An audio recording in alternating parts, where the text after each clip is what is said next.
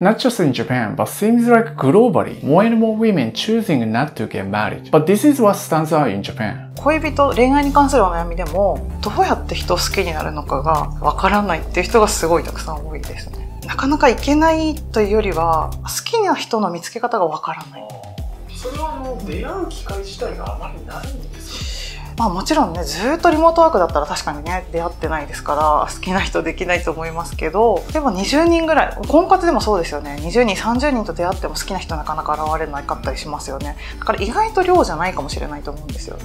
出会いはあるけど好きになれないとか好きっていう気持ちがわからないっていうことなのかなと思うんですけど。I wonder why this happens and to find out, let's go talk to these women. Showa Onna-san, sharing honest girls' talk and experiences on dating or relationship. Now, as just saw, these women are extremely beautiful and attractive, at least in my eyes. But surprisingly, even these women have a hard time in Japan finding marriage partner, which clearly tells us something's not right. So let's find out what the hell is going on and how that's been affecting our birth rate program. Hope you enjoy. とても腰が低い。とか大丈夫ですかお茶でも。お茶でも。あ、さっきそこに置き忘れのおもちゃが今。日はありがとうございます。こちらこそです。よろしくお願いします。結構悩んでることって共通してるんですかね恋愛で。やっぱりこういうところが難しいとか。みんなで話してて、好きになることがもう難しくなってるなっていうのはすごい思います。好きになること自体が。はい、人をその好きになる。友達とかのライクではなくって、その異性を好きになるっていうのが、あれ人のことってどうやって好きになるんだろうみたいな、うん。なんか結構みんな共通して持ってるところなのかな。うん、いいところを見ていけなくて、消去法になってしまってる。条件がこう、うんね前に来ちゃったりとか、うんその人の人柄というよりも、アプリとかだと特にそっから入っていくので、うん。お互いだけど振り落とすみたいな感じになるじゃないですか。うん。年齢も含めて、うん。相手も多分厳しい目で見てると思うから。そうだよね。ある程度自分の仕事だったりとか人となりっていうのがお互い分かってる状態で、あ、なんかちょっといいかも。新たな一面を見て、ね。ギャップ萌えみたいなところとかがあると、まあ大体でももうね、うん皆さん結婚されてるんでねっていうところは大きいかもそれも。多いかもね。多いうんそしてまた素敵と思う人はそういう人が多かったり。指輪そうなんですよね。だよね。Which reminds me that some of the female friends told me this recently. And I wonder why women often say that nowadays. Is that simply because they got so picky? Or simply because men are not good enough? To find out, let's talk to a professor Shirakawa-san, who's published many books or articles about marriage and birth rate issues. And she's interviewed so many women choosing not to get married and researched on that. So let's ask her, why women are avoiding marriage? あの、女性にとっては、え、まずこの普通の人でいいってみんな言うんですようん。高収入とか誰も思ってないんですね。でもその高収入っていうのが、まあ、昭和の頃の高収入なんですよね。皆さんが思ってるような年収600万以上とか。もうそういう人って本当に少ないわけなので。バブルの後に賃上げ全然日本はされなかったんですよね。この今韓国にも賃金抜かれてますから平均の。長い時間働いても給料が低い。その長時間労働させるという風習がずっと根強かったんですけれども。でヨーロッパに関しては11時間間を空けないと次の仕事をしないというインターバル規制っていうのが入ってるんですね、まあ、それはあの生活の時間が確保できるということなんですよねでそれは日本はまだ努力義務なんですねもちろん子育てする暇もないし、えー女性は孤立した子育てになってしまう。そこにもう一個問題があってですね、日本の結婚っていうのはほとんどが子供を持つという動機が大きいんですね。恋愛というよりは結婚して家庭を持って、あの、子供を持ちたいという人がとても多いんです。In Japan, it's closely correlated to having kids that we rarely see anyone giving birth without marriage first. The number one social issue definitely has to be trying to fix the birth rate. And I've studied this a good bit. Why is the birth rate getting lower in Japan? Yeah. It's because marriage is declining. If you increase the marriage rate, you'd have a higher birth rate. Average marriage married couple in Japan is still having two kids at least. You really have to focus on helping people find spouses. あの、チャイルドペナルティというのを言っています。 子供を持つと収入が6割か7割減ってしまうんですね。大体非正規。正規の仕事というのは出産を超えて継続できないんです。まあ女性にとっても結婚は大きなリスクになっています。ね、結婚して早く子供を産んで、えー作っていこうって気になるものなんですけど、やっぱり仕事をしてたりすると、子供を産むっていうことをちょっと躊躇する人たちは多くなってます。私は自分がやっぱ専業主婦をさせてもらってよかったって、それで子育ては安心してできたって思っているから、もうこれだけ女性が働くっていうことが前提で、かつ子供を産んでほしいわけでしょ女性が社会進出することで余計に少子高齢化はどんどん増えますよね。多分あらゆる女性が、うーんって認めざるを得ない状況だと思うんです。育児生活が行えない状態になってるでしょ Back in the days, majority of the married women are housewives, which made it possible to focus on childcare. But that's been changing a lot since 2000s, and accordingly, Japan's birth started to decline. So some people say that we should bring back the style in the Showa era. Now, the reason why men are making more than women because of biological needs, because of the way that we uh, we, we are, because of testosterone. We are risk takers. We work longer hours. We take more dangerous jobs. Dude, over 90% of work-related deaths are from men because we take the dangerous jobs and we get more money because of it. Women are very good at providing care. They raised children. Women fit naturally into nurturing jobs. That's just how biology made us. Japanese females are we just like to be home, you know, like being housewives. It's so fun, and that's where we find happiness. It's impossible to work just like men. Men are men, and they will always try to protect your children and women. Females like this traditional way of living because we are happy that way. Japanese women, they feel like, no, things are not totally equal, but men have it very rough in Japan. They work crazy hours of overtime. They don't see their families. A lot of Japanese women, they just feel like, I don't want to do that. that sucks. you know, being a housewife compared to that maybe isn't so bad. And maybe that's what's better for the kids. 少子化が起こるから、はいそれは昔に戻ってあの女性はもう家庭男性は仕事ってもう役割分担はっきりした方がいいんちゃうかっていう 意見を聞いたんですけどあの、それには男性の収入が全く足りません。それはね、終身雇用と年功序列が生きていた昭和の時代の幻想に過ぎないんですね。日本は女性は、まあ、生活のために働かざるを得ない。でまあ、日本の子育て世帯の平均600万円台ですから、二人で結婚してその年収が維持できればなんとかなる。しかし日本では女性の考えるパートナーというのは本当に少数しかいない自分がもし仕事を辞めたとしても家計が維持できるような男性を求めてしまうんですねそ。れはやっぱり収入がないとそう、そこ、そこはでも、あの、ちゃんと理由はあるわけですね。または、あの、しっかり自分も子育てに参画して、育休とか取って一緒に子育てしてくれる人そっちもいないんですよ。夫がそのつもりでも、あの、子供を持った途端に昇進できなくなったり、あとは雇い止めになったりすることもあるわけじゃないですか。夫がいくらサポーティブだからといって、その社会とか会社の方の理解もまだ追いついてないです。私はいつもチーム育児、チーム稼ぎって言ってるんですけど、チームで最適化してやっていきましょうって言うんですけど、やっぱりどうしても女性は子育ては自分がやらなきゃいけない。自分だけの責任だと思い込んでいるし。はいしたいっていう思いはあるんですかね結婚願望はないわけじゃないんですけども、まあでもやっぱりこういう安定しない仕事をしてる以上、誰かを支えることは自分にはできないなって思ってるので、願望はあるんですけども、まあちょっとやっぱり結局遠い話。まあ、結婚はちょっとあんましたくないですけど、責任が嫌いなんで、自分が責任を持ってそれをやれるのかなと思うと。やっぱり収入面で不安が大きい家庭を持つってことはそれだけ経済的に安定してなきゃいけなくて、今のでもこの不安定な情勢だと自分で手一杯になっちゃうのかなって。年収を気にしてる方が多くて、経済の低下とともに今、俺の年収じゃもう養えないんじゃないか、そういうことを気にしてる方が多いんです。そんな風に思ってくださってる男性は、なんかすごい。考えてくれてるあーそれ思ったねうんいいよね。養うってなんか彼女が、いやちょっとさ、私も頑張るからもうちょっと二人でやっていこうよっていう風に、グイって引っ張ってくれたら男性も、あ、じゃあちょっと頑張ろうかなっていう気持ちになるんですかね。なると思う上がります男性はそうなの。そういう気持ちの強い女性っていうのは増えてきてるなあ、そうだよね。だから心配しないですね。そうそう。その弱くなってしまっている男性がいらっしゃるのであれば、強くなってる女性もいるから、バランスの部分では。考えちゃうと何もできないので、なんかそのお金を稼いでから女性にアタックとか、そういうんじゃなくてもやっぱ同時にやっていかないと。今の男性に足りないものというか、ちょっとここが不満やな、みたいな。わかりづらいとかいいと思ってるならストレートに、もうこうじゃなくてこう来てほしい。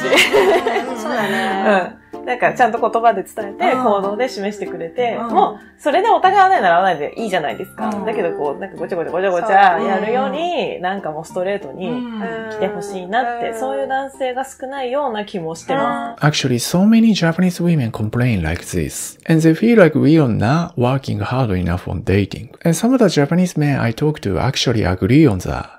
葬祝あんまりグイグイいかない人も周りにいっぱいいる気がしますね。自分はまあどっちかっていうと装飾系かなっていうのは近いと思うんですけどまあそこまでは求めてはないかなっていうああ自分もそこまであのなんでしょうがっついていこうって思わないんでやっぱそうなんじゃないですかね。僕もそれは思いますね、はい、結構されますか？その告白とか。あそんなないです。そんなないですか、最近自分の周りでですけどどっちも行かないんですよ。女性の方も男性の方もお互いのなんか探り合いみたいな感じで。だから男性の方が行ってくれると多分女性の方も行きやすいんじゃないかなって。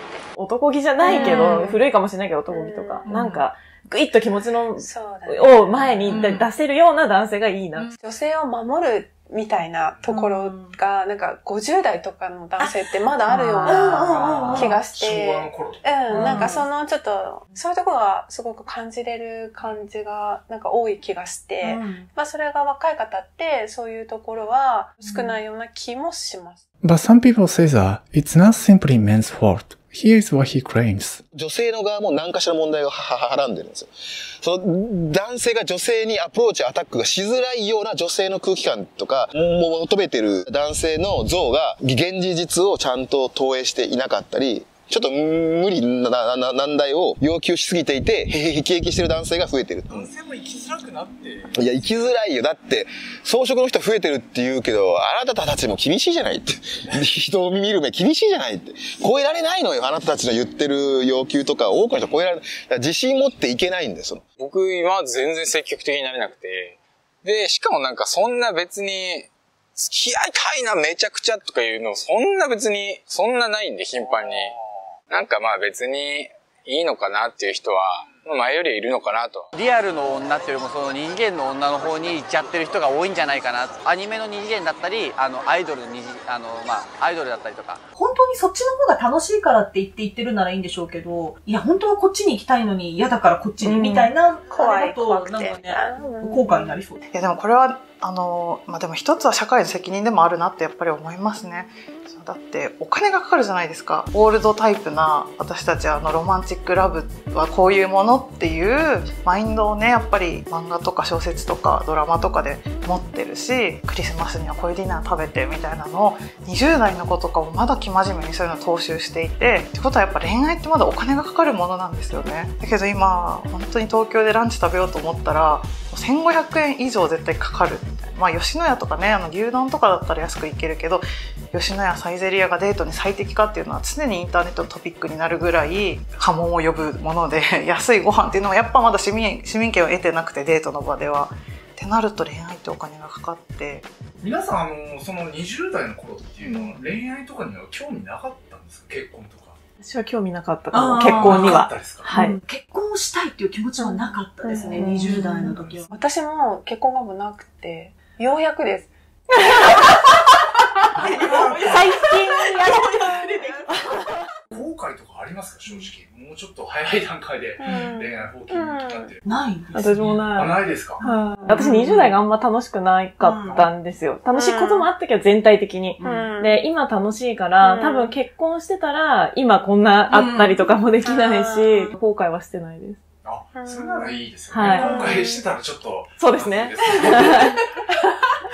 あの時産んどけば。でも、確かに子供とかも思うんだったらあるかもしれないですね。女性は子供を産む機能とか、自分のに授かった大切な機能をみすみす使用しないまま年老いていいのかっていう恐れが絶対にあるんです。で、それを遅いというね。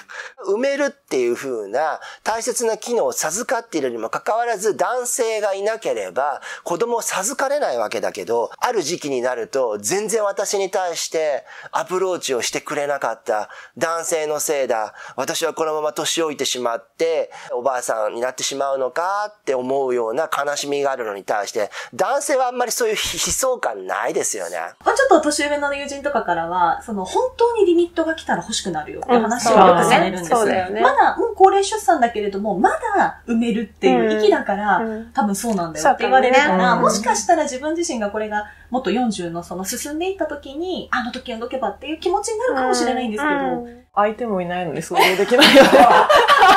Nowadays, while many women don't want to have kids, especially single women, some people do, and this is something that many of them take. Compared to decades ago, the number has been rising a lot, and Japan recently started to take action that, by experts claim, it's not nearly enough. まあ不妊治療やりたい人はいますけど、まあもちろんお金は非常にかかりますよ。1年間いくらってどんどんお金がかかっていくわけですよね。やはりあのお金がないんですね。To give you some idea about the difficulty or struggle, let me share the experience this couple has been through. 子供いらないとやっぱ思ってたんです。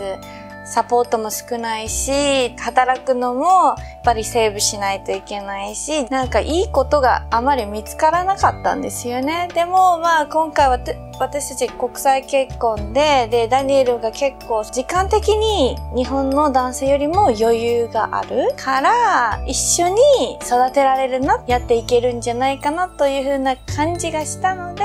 Just before COVID happened, we actually had a miscarriage.